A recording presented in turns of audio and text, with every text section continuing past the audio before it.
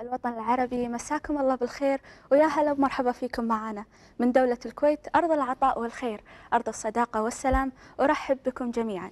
ويسعدني أن أكون معكم في هذه السهرة الكويتية والتي ننقلها لحضراتكم من تلفزيون دولة الكويت.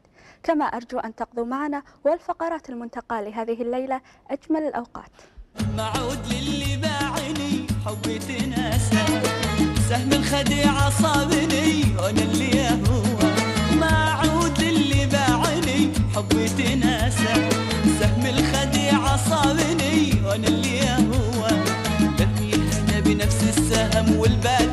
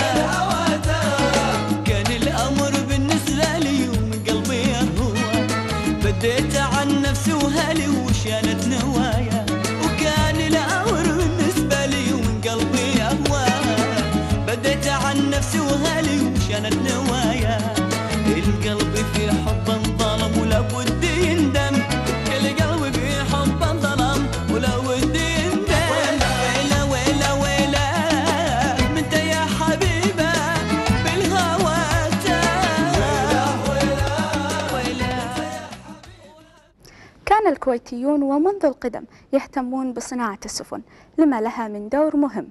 فقد كانوا يستخدمونها للغوص والسفر والتجارة أيضا بين الأقطار العربية والعالمية. وكان لكل سفينة نوخذة والنوخذة هو ربان السفينة أي القبطان. وكانت هذه السفن تصنع من الأخشاب التي كانوا يجلبونها من الهند. والمهلب هو أحد هذه السفن المشهورة في دولة الكويت وقد صنع عام 1937 وكان يستخدم للأسفار البعيدة وللتجارة وجلب البضائع من الهند. وقد أعيد بناء بوم المهلب بناء على مكرمة أميرية من حضرة صاحب السمو أمير البلاد الشيخ جابر الأحمد الجابر الصباح ليظل بوم المهلب باقيا في ذاكرة الأجيال القادمة لكونه رمزا يعبر عن الماضي العريق.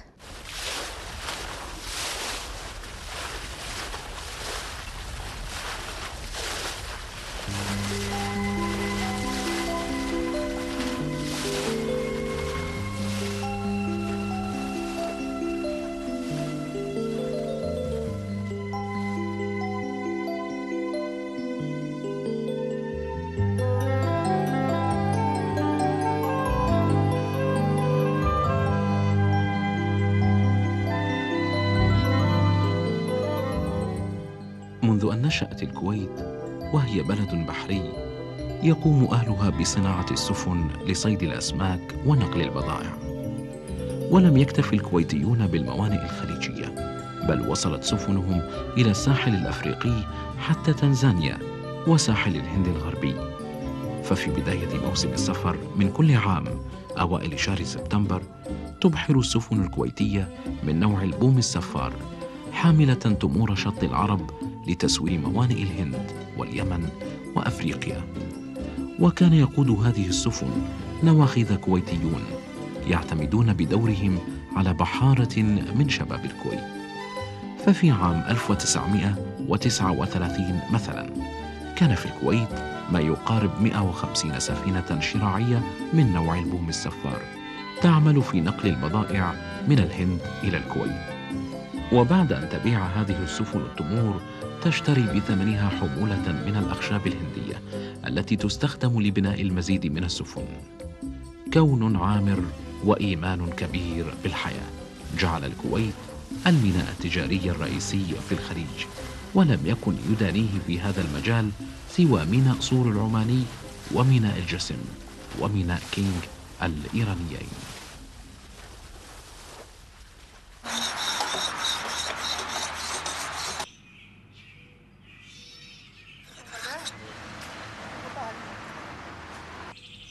في يوم السبت السادس من شهر يناير عام 1996 مدت قاعدة السفينة ألبيس على قطع من الأخشاب لكي ترفعها قليلا عن الأرض.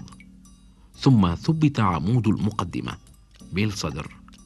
ثبت بالقاعدة بحيث يميل عليها بزاوية معينة قدرها الأستاذ علي بن جاسم الصباغة بواسطة آلة الهندسة. كما تم تثبيت عمود المؤخرة بنفس الطريقة. ثم بدأ تثبيت الألواح على جانبي القاعدة. وكل لوح كان يثنى للخارج عند وسطه حتى تم تثبيت سبعة ألواح على كل جانب من جانبي القاعدة.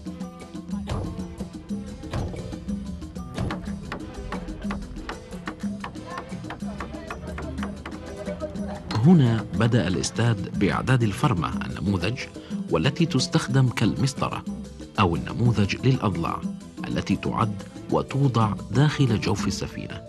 يصمم الاستاد فرمة للثلث الأمامي وأخرى للثلث الخلفي من السفينة ثم تتوالى الفرمات حسب شكل السفينة.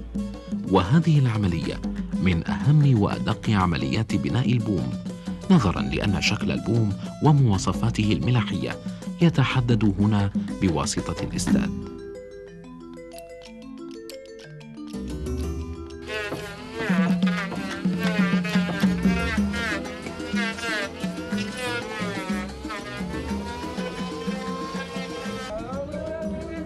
بعد أن وضعت الفرمات في أماكنها تم تثبيت الألواح الخارجية بها والمكونة لجسد السفينة. وحين تم تثبيت خمسة عشر لوحا على كل جانب من جوانب السفينة أعد لوح الكمر ثم قامت مجموعة من الجلاليف بكلفتة السفينة أي سد الفتحات بين الألواح بفتيل من القطن مشبع بالزيت. وكانوا يستخدمون المطارق وكانت أصوات المطارق تسمع بالقرب من الموقع. مما أضفى شعورا بالحنين للماضي حين كان الجلاليف يكلفتون السفن وأصواتهم تسمع على طول الساحل في مدينة الكويت القديمة.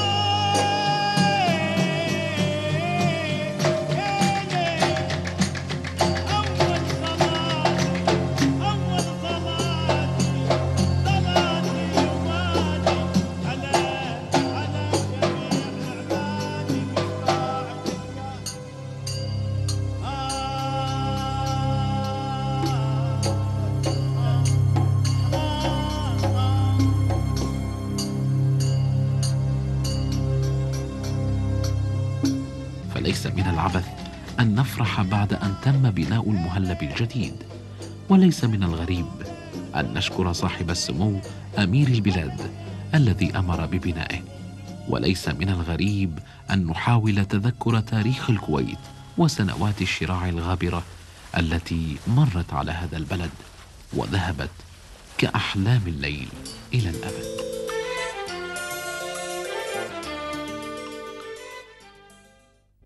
أعزائي ولننتقل الآن إلى فقرة أخرى ولنتحدث عن أغنية للسفاكر. فهذه الأغنية غنية عن التعريف بصاحبتها فهي السيدة كوكب الشرق أم كلثوم. وهذه الأغنية حققت نجاح وصدى بارز ومعروف وشهرة عربية اكتسحت العالم العربي. وكما نرى هذه الأيام فالأعمال المشهورة أصبح يتغنى بها العديد من الأصوات المختلفة. لنرى الآن كيف أصبحت هذه الأغنية عندما قام شباب موهوب بإعادة غناء هذه الأغنية من جديد ولكن بطريقة كوميدية وطبعا من دون التأثير على الأغنية الأصلية.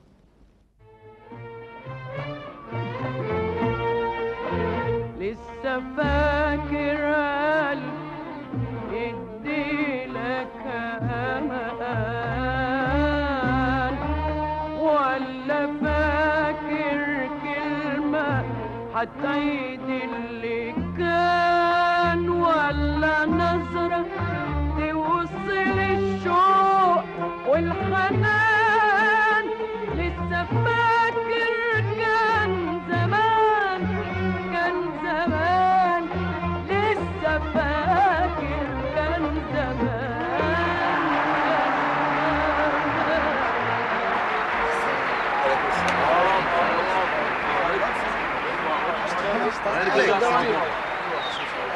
شهوة هتعرف تطبخها لا والله ما بس الله يخلي أنا موجود فيها تبغى تقطعها واحد مأسل يا معلم. مأسل السالفة؟ ولا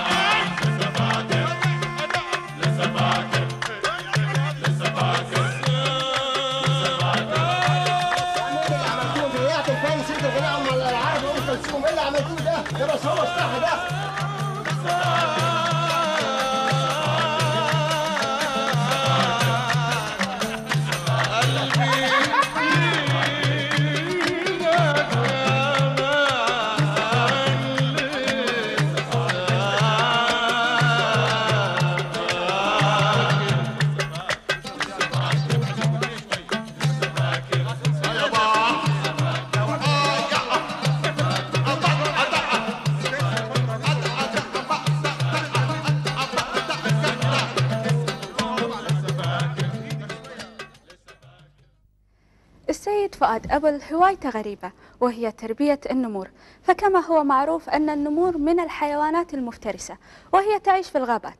ولكن هذا المواطن الكويتي جعلها من حيوانات مفترسة إلى حيوانات أليفة بل وتعيش معه ومع أسرته في نفس المنزل. فتعالوا معنا أعزائي في كافة الأقطار العربية لنشاهد السيد فؤاد أبل مع هذه الهواية الغريبة. ثريا أهداها لنا صديق من البحرين. وشوي شوي كبرت عندنا وتعودنا عليها تدش عندنا داخل بالبيت وتلعب مع الصبيان وهذا وبعدين يعني مثل ما تقول صارت مثل واحد من أهل البيت يعني فلما شفناها كبرت شوية قلنا لازم نجيب لها ذكر لأن يعني كم كان عمرها؟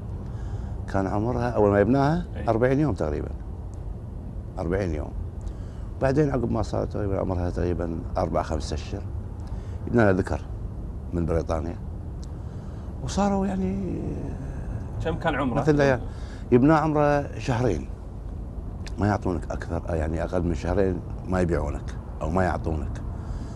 فعشان يعني ترى مت- متعلمة بالبيت وهادية طبعا هو صار هادي مثلها يعني. اخذ نفس الطبايع يعني. نعم. وتعودنا عليهم خلاص صاروا يعني مثل عيالنا بالبيت يعني. يعني ال- الأعمار كانت ثريا 40 يوم وشهرين لمايكل، شلون كانت عملية الإطعام؟ هل كانت في مشقة معينة؟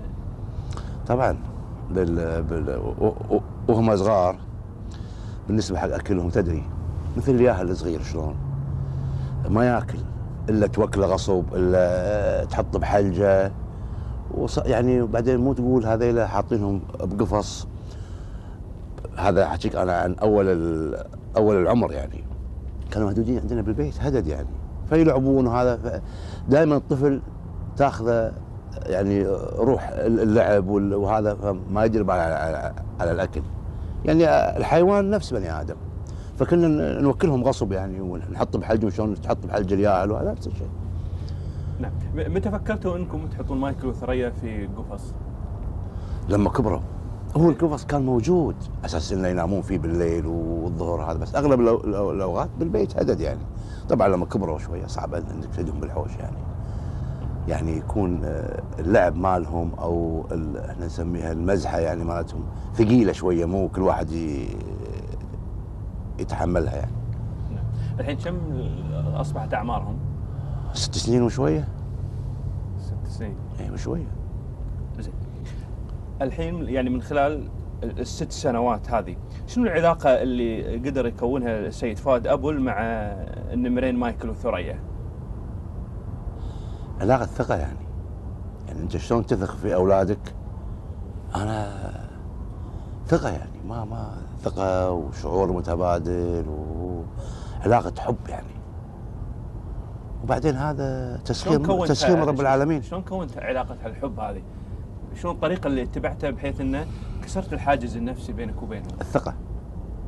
الثقة والوفاق. آه، ما في اتفاق بيني وبين ثريا يعني الات- الاتفاق ممكن بعد مدة يروح لكن في وفاق وفي ثقة وفي أحاسيس ومشاعر متبادلة بيننا وبينهم في احترام. تعددت أنواع الفن والليلة سيكون لنا وقفة مع إحدى محطات الفن. وهو فن التصوير الفوتوغرافي. التصوير الفوتوغرافي يرسم ويوضح الأبعاد والزوايا المختلفة للصورة التي يلتقطها بواسطة كاميرته والتي دائما تكون مصاحبة له في كل مكان ليلتقط بها أجمل المناظر والصور المعبرة التي تجذب المشاهد.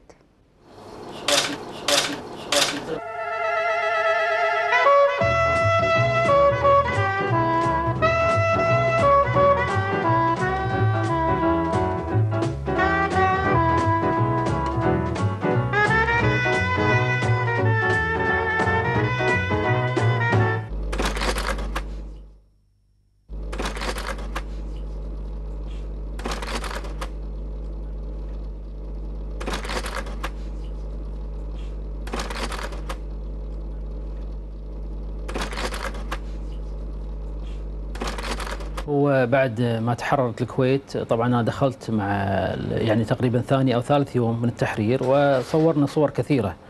وطلعنا كتاب سميناه أم الجرائم آه، ضد الكويت في صور. وطبع منه طبعا آه، عشرات الآلاف من ال- الكتب ووزعت آه، على يعني للمسؤولين ووزعوا على مكتبات العالم وللكونغرس ولجميع الدول.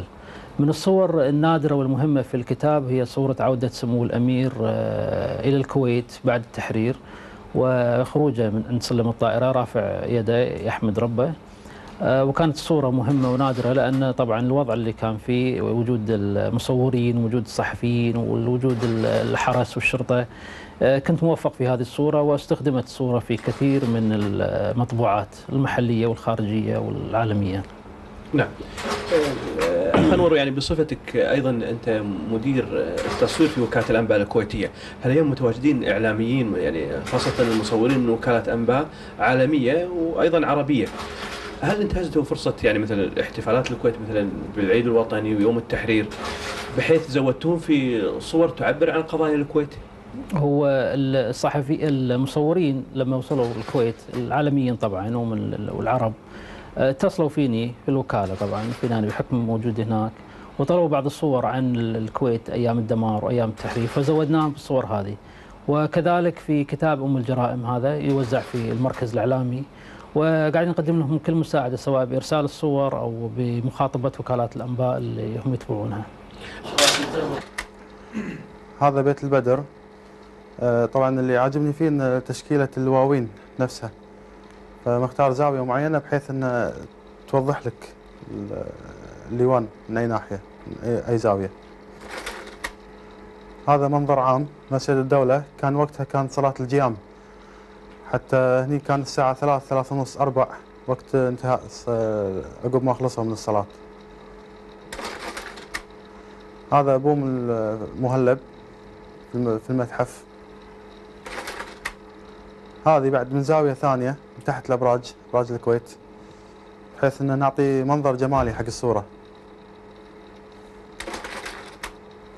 هذه طبعا الصورة طبعا حقيقية مو مركبة. هذه ال- الحلو فيها شلون اختيار الزاوية بحيث توفق بين المسجد وبين البرج.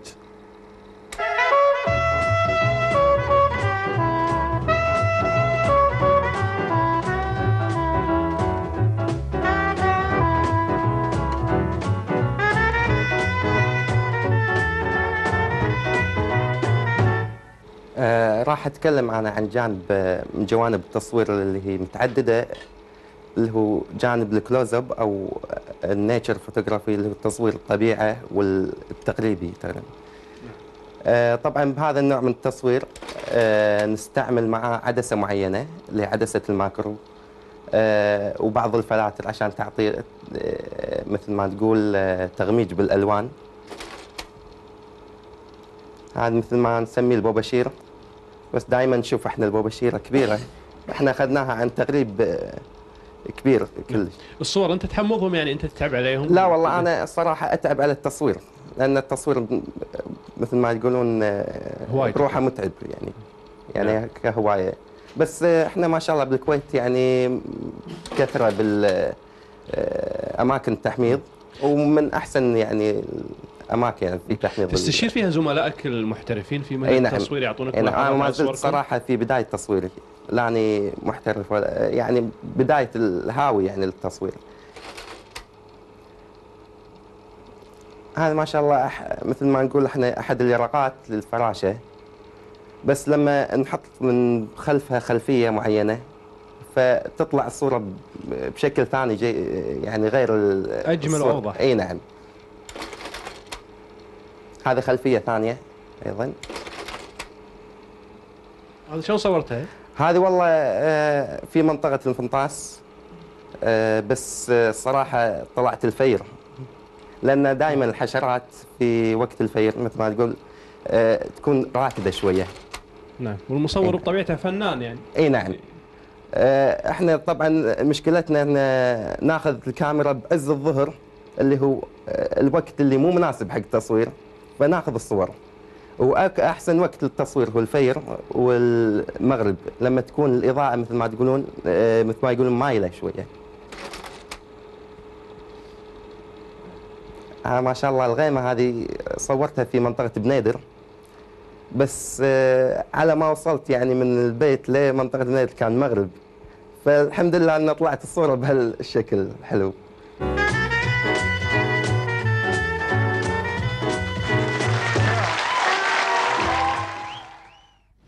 فرقة التلفزيون تعتبر واحدة من أهم الإنجازات الفنية التي تفتخر بها دولة الكويت.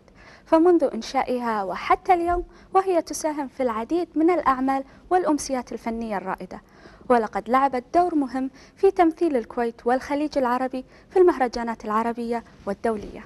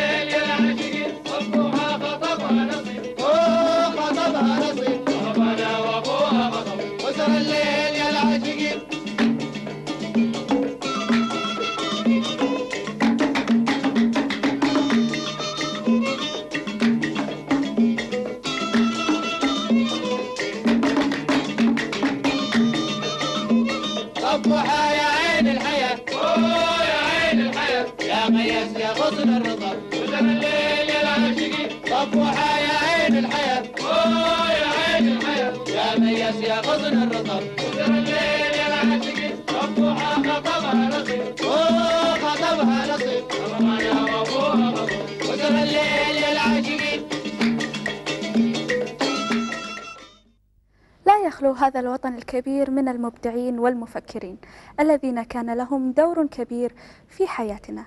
وكذلك لا يخلو وطننا من الأيدي العاملة الماهرة التي تكون دائما مواكبة لعصرها ولإنجاز أعمال جديدة. فقد قام أحد المواطنين الكويتيين في جعل سيارة قديمة وبالتحديد موديل 62 تسير في البر والبحر. باختصار جعل منها سيارة برمائية يعني بدلا من شراء طراد أو يخت عند سيارته. يأتي بها من الشارع ثم ينزل فيها إلى البحر لنزهة بحرية.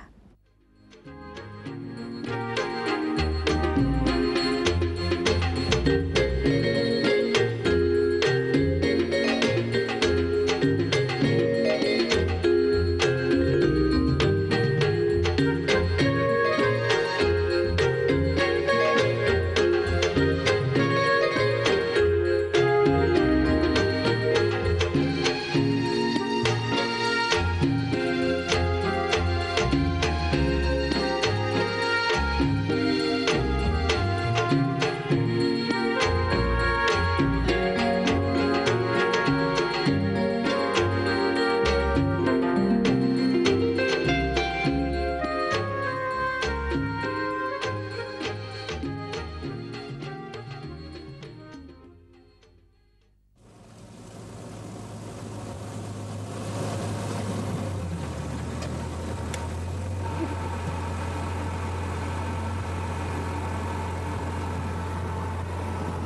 جحفر الحين إحنا في سيارة تعتبر غريبة شوي. إحنا قبل شوي كنا على القارة الحين بالبحر. أه تقول لنا أنت الحين السيارة هذه من وين جايبها جحفر؟ هذه سيارة من نوع أمبيكار. كانت موجودة بالكويت من آه، حوالي عشر سنوات أو تقريبا تقول هي موديل 1962 السيارة. اي وسيارة تعتبر شعبية اسمها مكون من كلمتين أمبيكار تعني سيارة برمائية. وهي إنجليزية الصنع وعلى غير ألماني مشترك. يعني جحفر الحين السيارة هذه أنت مو أنت اللي مصنعها يعني جايبينها يعني عند أهلك من زمان يعني؟ إي نعم هالسيارة هذه محافظة عليها العائلة من تقريبا 12 سنة. والحين هي السيارة موجودة عندي. زين جحفر الحين هالسيارة هذه شلون الحين نبيك تقول إحنا كنا بالقار دشينا الحين بحر؟ ش- شلون اللي غيرت فيها بحيث انها صارت سيارة وقاعد تمشي بالبحر الحين؟ مثل ما ذكرت إن هذه السيارة هي شد بلادها يعني. صنعها إنها تنزل بالبحر. هي مصممة حق الأنهار. ماكينة واحدة يعني ماكينة واحدة؟ ماكينة واحدة. هي ماكينة السيارة اي نفسها تشغل البرونات عن طريق الجير. اي وشفتات اثنين طالعين على اليسار واليمين. جحفر إحنا ما نشوف سيارة يعني بالكويت غيرها يعني الوحيدة هي أعتقد؟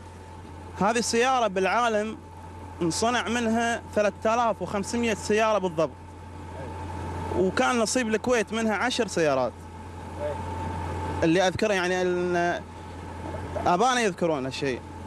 واللي شفتهم وكان عندهم من نفس النوعيه جعفر لاقي مشكلة بسالفة قطع الغيار ما دام يعني الوحيده بالكويت هي الحين؟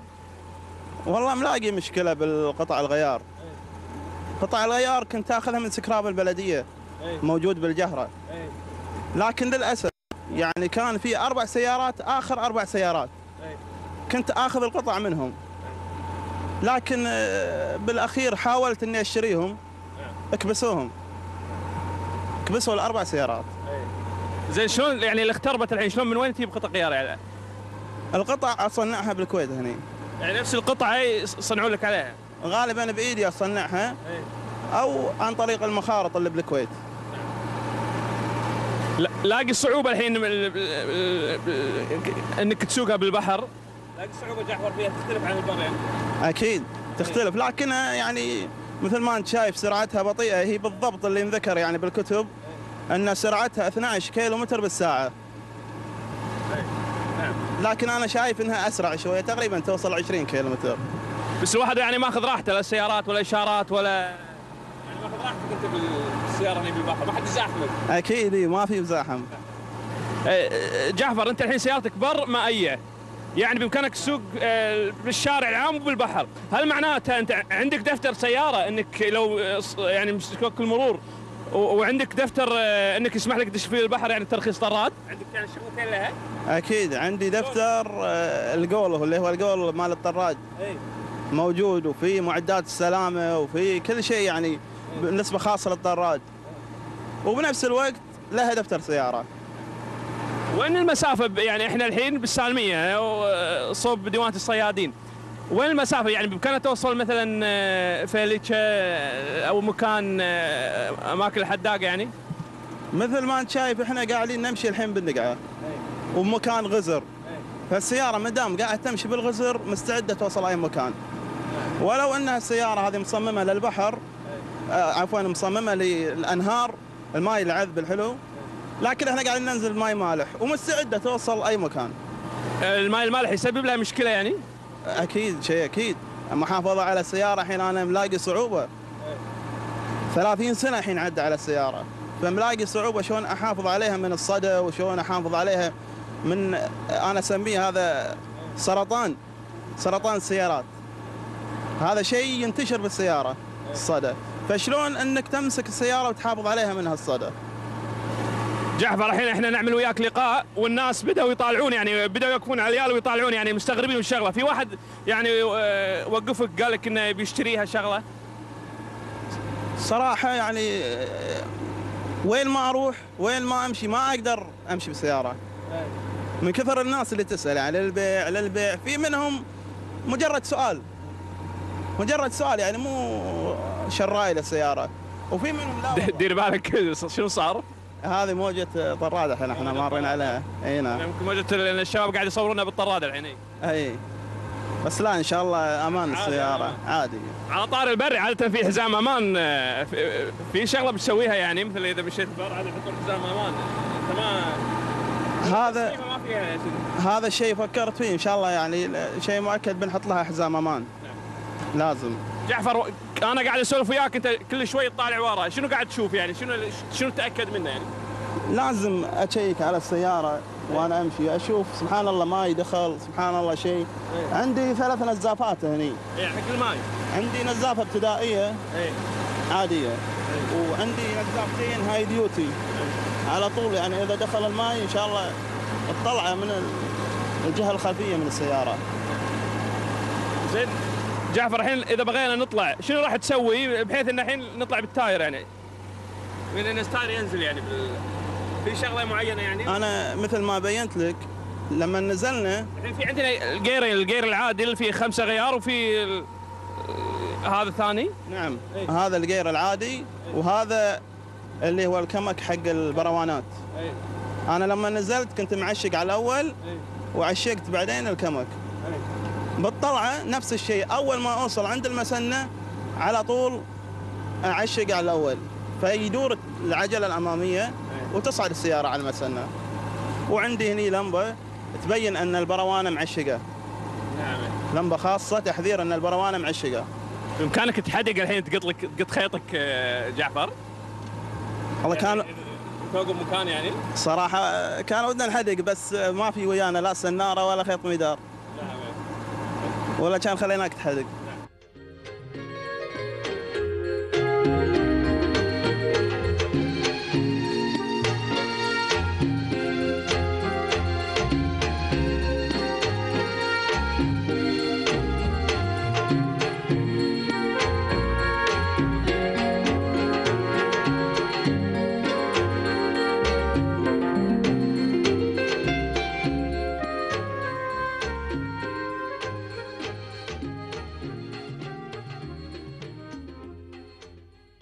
كما ذكرنا من قبل فإن وطننا العربي لا يخلو من المبدعين. السيد سعد بن شرار قام بصنع سيارة بدون بدي فقد قام بجمع قطع كثيرة وصنع منها سيارة تمشي في الشارع وكأنها سيارة مستوردة. كما يقوم سعد بجولات ترفيهية مع عائلته بهذه السيارة. دعونا أعزائي نشاهد هذه الفقرة لنتعرف على المزيد من التفاصيل.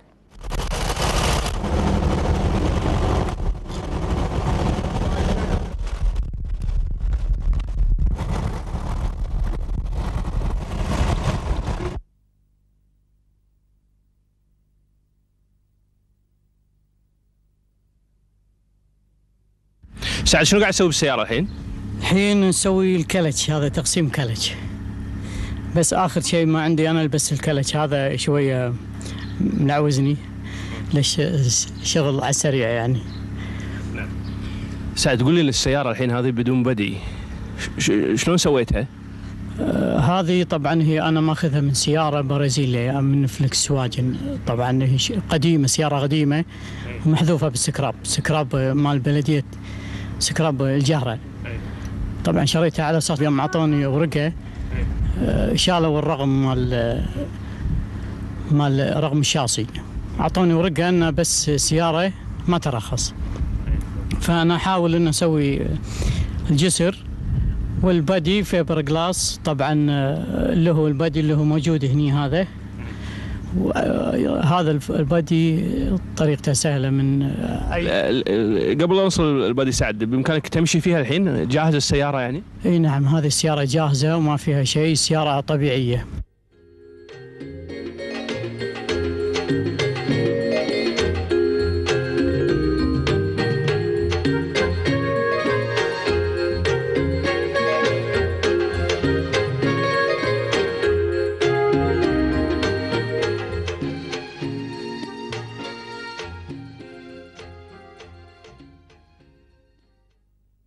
سعد الحين انت ركبت البادي. اي الحين الحمد لله ركبنا البادي. اي وباقي شغلات الكهرباء هذه أسويها بالنهار أو بالليل أو المغرب. الليتات ما في الحين؟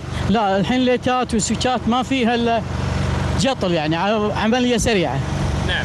الحين سيارة أصبحت كاملة بإمكانك تمشي فيها بالشارع بالقار عادي بالطريق. إي عادي تمشي وأركب عيالي مثل أو إن أقلص لي حاجة أو أروح حق مشوار بعيد. سيارة عادية الحين. بس تبي ترخيص من المرور أرقام ما أرقام يعني. ترخيص من المرور. وبعدين ال body هذا أقدر أشكله بشكل ثاني. أقدر أخلي نفس شكل Trans Am أو شكل أي سيارة تعجبني. أو أي فيبر جلاس هذا أنت اللي مسويه تصميمك. لا هذا طبعا body أنا ألاقيه من السكراب. و- وركبته عليه شفت أنه راكب عليها. لكن بإمكانك أنت تسوي يعني. اي بامكان إن أنا أسويه من فيبر جلاس نعم. اي okay خليك ساعة تطلع انت وعيالك تمشي شوية. مشكور. الله يسلمك. شكرا يا أخوي.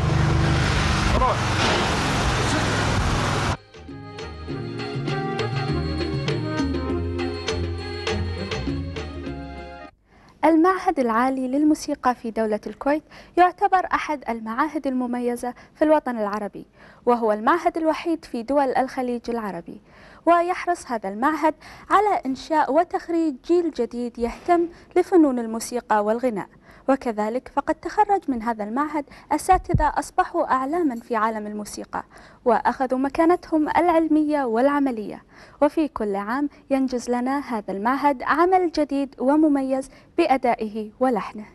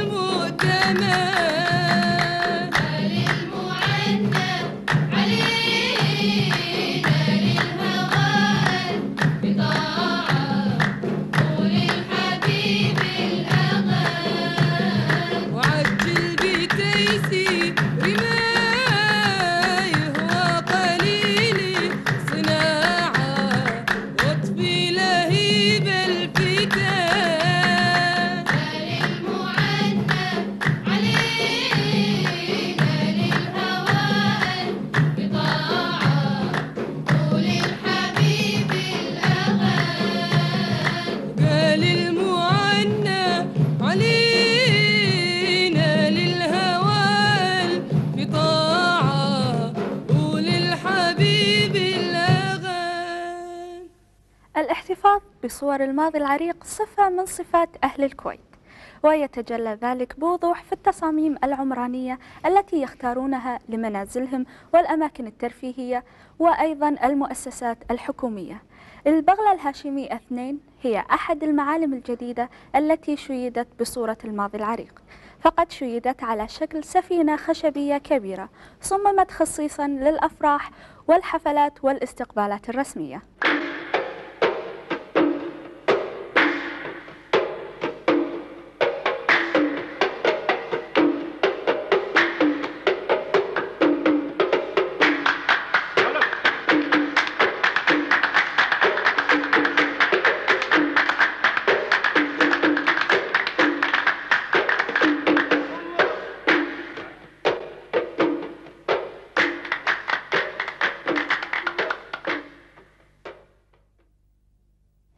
داخل يشوفون صالة كبيرة آه، وال- وال- كلها من خشب كلها ديكورات ذهبية يصير ذهب.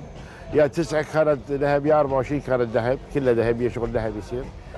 وصالة كلها مفتوحة على بعض ويصير درج يروح فوق للنيم للديوانية الفوقية. يعني في صالة وديوانية؟ نعم صالة وديوانية. صالة متعددة الأغراض عروس صار حق العروس وأكو آه، مدخل من مدخل يسعد فوق فوق الديوانية. نعم. ديوانية ما في قاعدة إي. استقبال. مطعم شغلة؟ ما في مطعم. فيها فيها صالة أفراح. ومطعم آه، ساعات يصير قاعدة كبوفيه. يعني. يعني القعده تصير تصير قعده بوفيه يعني. قاعد البوفيه زين. وحق العراس بعد يصير عندنا غرفة العروسة بنسوي بعد. كم عدد برا المدعوين اللي تشيلهم الصالة؟ الصالة لو لو قاعدة حوالي بين 550 ل 650 تقريبا مو حاسبين بالضبط يعني. أي. بس لو دخول وخروج فوق 1000 نفر يشيل. فوق ال 1000 نفر. داشين طالعين يعني. نعم. أبو علي إحنا اللي, اللي نشوفه نلاحظه يعني حتى اللي قاعد يمر على شارع الخليج العربي قاعد يشوف البغله الهاشمي اثنين نعم. أصبحت يعني معلم أي واحد يمر بالشارع يشوفها. الأجانب اللي بالكويت هني ما لفتت نظرهم العملية يزورونكم هني؟ والله بالحقيقة تبي صدق وايد يجونا. عصار يجونا أجانب آه، إنجليز أمريكان ذيك يوم يوم أستراليين نيوزيلنديين يجونا وايد يعني. ويسألون شنو أسئلتهم الغريبة مثلا يستفهمون عن شنو؟ يسألون أول شيء صدق هذا أكبر سفينة بالعالم ويجاوبون بلى نعم إحنا شايفين الكتب ال- عن سفن قديمة وجديدة ماكو كبر هذا. حتى في إنجلترا اللي أكو سفن قديمة مال ال- مال ال- البحرية الإنجليزية هم ماكو كبرة يعني. هذا أكبر سفينة ينحسب في العالم خشبيه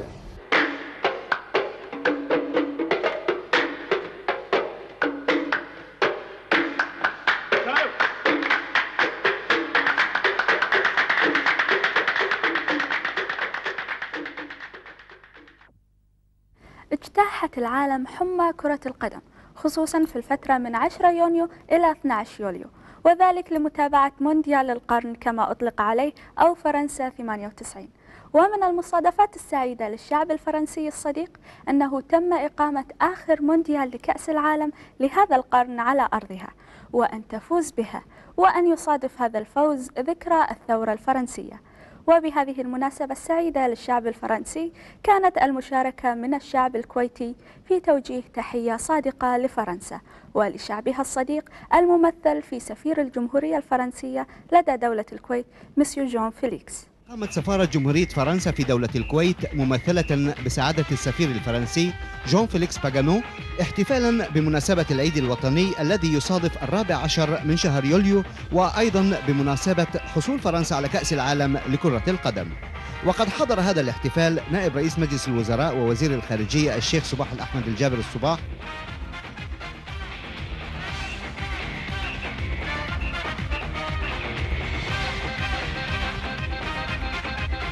ونائب رئيس مجلس الوزراء ووزير الدفاع الشيخ سالم الصباح.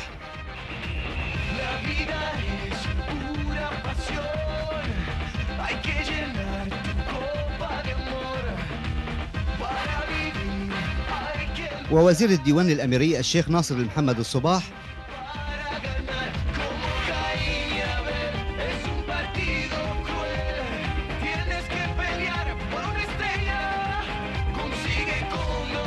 وعدد من الدبلوماسيين بالسفارات المعتمدة لدى دولة الكويت والعديد من الشخصيات الاقتصادية والإعلامية.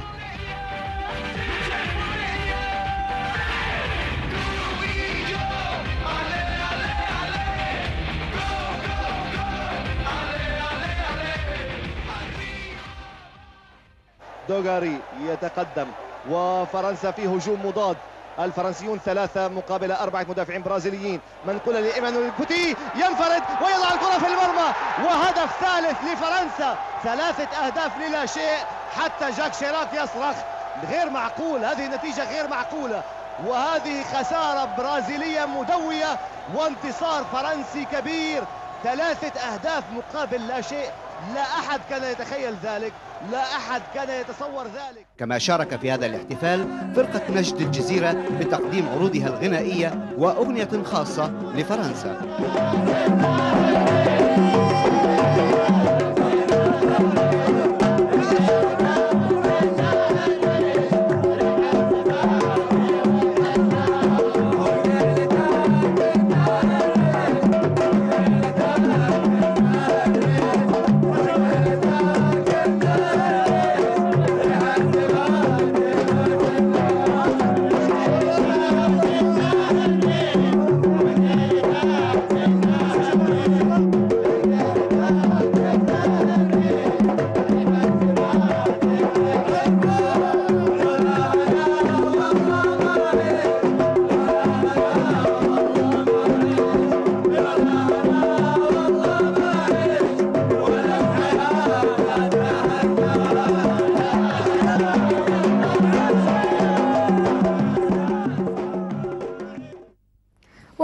نكون قد وصلنا وإياكم إلى ختام هذه السهرة الكويتية العربية المشتركة. نتمنى أن نعود ونلقاكم في المستقبل القريب. حتى ذلك الحين أترككم في أمان الله.